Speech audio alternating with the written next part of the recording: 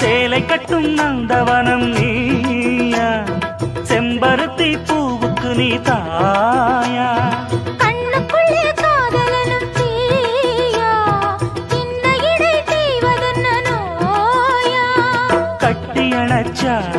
முத்தம் பதிச்சா நோய் முழுக்க தீர்ந்து விடும் வாமா?